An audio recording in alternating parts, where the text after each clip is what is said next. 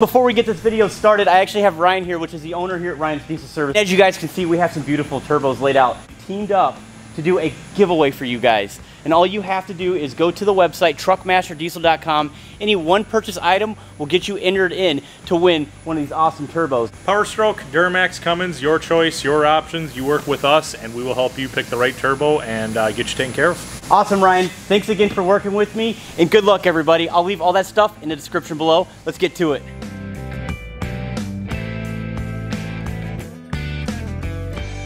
Got some huge news. This body shop, this local body shop, is actually gonna go ahead and take on all the body work on the Victory Max for free. Can you believe it? It's gonna save me a ton of money, seriously, because you guys know that truck right there, we are literally gonna rebuild. We're going to give it life again, okay? The truck is tired, man, and we're gonna give it victory again, so I'm really, really excited about it. So we're gonna go ahead and head on over there right now, and I'll show you the company that I'm going to here in Wisconsin. I'll show you guys their setup, and also I wanna get a take on exactly what they are planning on doing with this truck. So stay tuned. All right, let's head down there. You ready? I'm the conductor number two according to the dash. Yeah, what is up with that dash? We gotta get that fixed. Yeah, it just did that. It freaked out. I think it was a ground issue. so. We've got we've got a lot. Oh, it's dark. Oh, it's very dark. Come on. We've got a lot of work on this truck.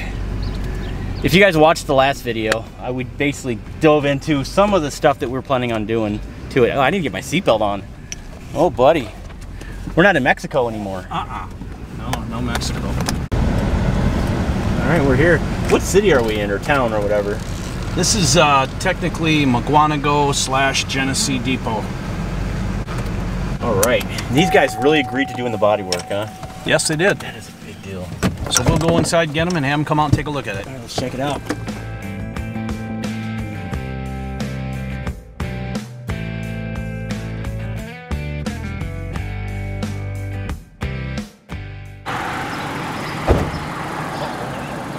Um, what exactly goes on behind those doors? That's one of our three paint booths, and that one will actually bake a finish on for a, for a better quality. Booth can get up to 180 degrees. Most of the time we bake cars right around 140 degrees for about 30 minutes to ensure the finish hardens up properly and can get in and out quickly. Right now she's taking the light, that's a sunlight, and that's the same type of light that the actual sun puts out. So we turn the lights off the and uh, give it a bake light. And this way we can see if we have any bad blends that the metallic laid out and that everything's going to be kosher for when she goes to put on clear.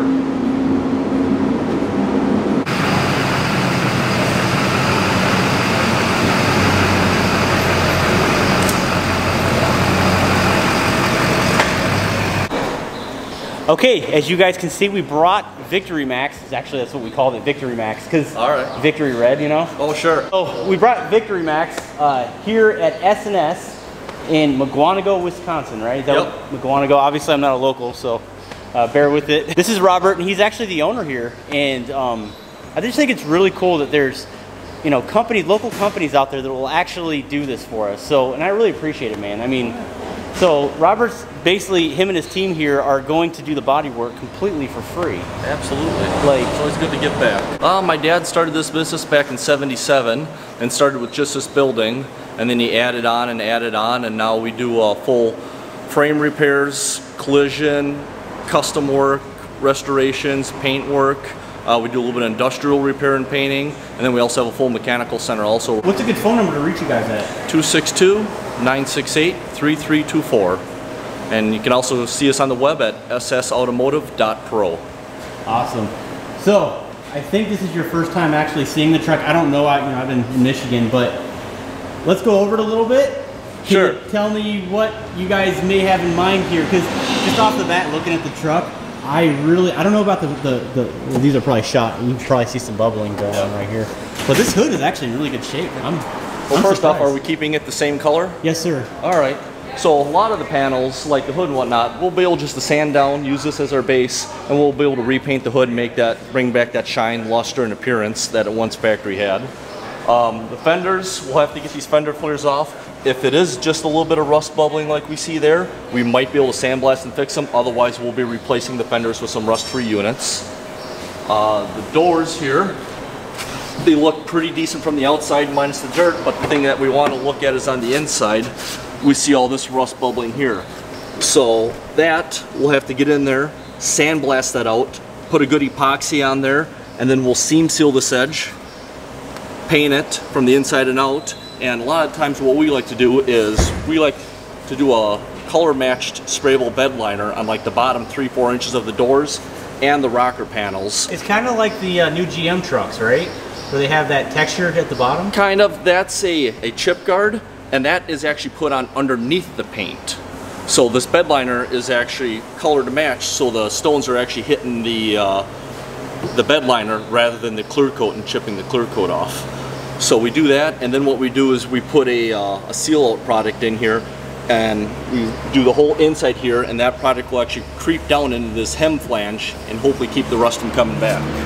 Then the uh, rocker panels, these we're going to cut off and we'll get some uh, factory style replacements, probably inners because that's what's left of the inner and outers. We'll get those welded on. We'll get that all undercoated nicely. We'll put the seam sealer product on the inside there. And then I'd like to do the uh, sprayable bed liner in here also. And the sprayable bed liner is going to protect it from stone chips here. And it's going to protect it from here from your feet scuffing. And it's going to give it a nice overall appearance. No matter how careful you are, you always get at least that one little stone on your shoe that's going to just catch it. Yeah, good So- call. And then along with the rocker panels, we'll be putting new cab corners on it. Those are pretty well shot. Those will probably do a cut right here, bring it down, body work it so it blends in nicely. And then uh, the box, We're gonna just get a different box. I Okay. don't think we're gonna use this one. It's just too shot. yep. Uh, when we get the new box, we'll flip that upside down first off. We'll make sure all the rails are in good shape and we'll run that undercoating product through all the rails on the underside. And then we'll flip it back over and we'll do the paint to match and maybe even do a sprayable bed liner on the inside. Hey, actually, since I have you here, what's what do you think about this tailgate here? It's a little rough. A little rough. Uh, okay, that's a lot of rough. Uh, I knew that was gonna happen. yeah. The uh, the box is the main culprit there. You can see the hinge plate rotted away. Technical term for that would be trunnion. Uh, the inside of the gate, same as the bottom of the doors. We could definitely sandblast and save this gate. The box, maybe not so much. Yeah. You don't think that'll buff out, eh? I'm thinking a good buff job, that'll that'll be just fine. Maybe Yeah. call Josh in. There you go. well, it's good to know. H- how long have you been doing body work yourself? I've been doing it since I was 14, so for probably about 24 years. Yeah. So you know a thing or two. I've been around the block once or twice. so. So it's interesting your company does rust repair because I know a lot of you know I'm from Michigan and we have the same weather and uh, same salt basically and Sure. we all have rusty vehicles up here, especially Ohio. Same thing. I know a lot of body shops just they don't encourage body work at their businesses for rust repair. Well, a lot of places they like to just unbolt and bolt on. It's a lot of technical skill to be able to weld on a panel and actually have it last. Um, no one can obviously uh, warranty rust repair forever, but you know we've been doing this for years and years. We've got some skilled employees here. We know how to weld. We know how to protect both the outside that you see and the inside, because 90% of your rust comes from the inside out, and that's where you need to do all the protections on the inside to keep that as a long-lasting repair. Cab corners, rockers. This door is about the same shape as the other side, so I'd say that we could probably save this door also. And our extended cab doors Thanks. will be, uh, we'll of course be tuning up the hinges and the latches to make those all work good. This guy's a little rough, but I think we can save that door too. What kind of tools will we be using for the job? Well, we got a lot of specialty body hammers and dollies for doing some of the metal work. Spoons, metal finishing file. Let's see what else is in here. Got buffers for doing the final, uh, final polishing and end product appearance. These are a very nice tool. These are for removing the plastic Christmas tree clips and trim clips for getting body panels off so you don't break them. This is a new pair that just came out. These things work awesome. When we do frame repair, these are a lot of the specialty fixtures that we use for, for clamping onto the frame, holding. If you got, let's say you got a box side that's caved in, we got a couple of these. These hook into the wheel wall. We can pull the wheel wall back out straight. Slide hammers, different pulling fixtures. This right here is a pretty neat tool. It's a stud gun. You got a dent in the panel.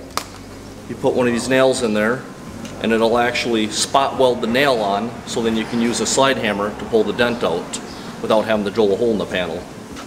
This tool is real nice if you got a whole bunch of dents or a really long dent on a panel. You can uh, take the uh, paint away so you get down to bare metal. You'll actually you actually ground this right here. You take this guy, you hit the momentary button and it'll weld this rod and you can sit and pull the dent out and keep working down. Keep welding, pull, twist, weld, pull, twist. And that saves on nails. It's a really nice, fast tool. I'm so excited about this truck here. I, you know, I'm excited about the Wife Max build as well that we've built at Ryan and Mark's shop there. But uh, this is a really big deal. I mean, we paid a thousand dollars for the Duramax, and I told you guys in the beginning of the video or the, the last video that I posted that we're gonna essentially make this truck brand new again and give it a life because realistically, the only thing worth anything on this truck, I personally think, is maybe the rear end and the engine and the trans. Um, but the rest of this truck, really, most people would just take to the scrapyard. And not only that, I'm really excited because it's a GMC Sierra. I've never had a build like that on the channel, so I think that's really cool. And guys like Robert here that own a, uh, local local businesses, basically, uh, that are willing to, you know, help us out on this build. It's just such a tremendous thing, and I do appreciate that. Again, make sure you guys check out Robert, S&S Automotive. I will leave all the information in the description below. It's definitely worth the drive coming to this small family-owned business, seriously. So again, I'll leave all the information.